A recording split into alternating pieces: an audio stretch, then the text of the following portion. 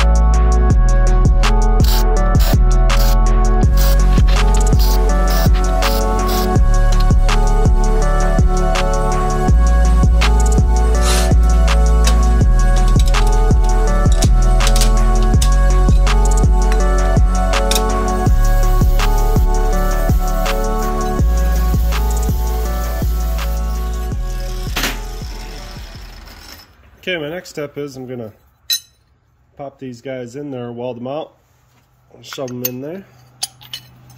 And we're almost done. I just got to make an enclosure for the battery and for the switch.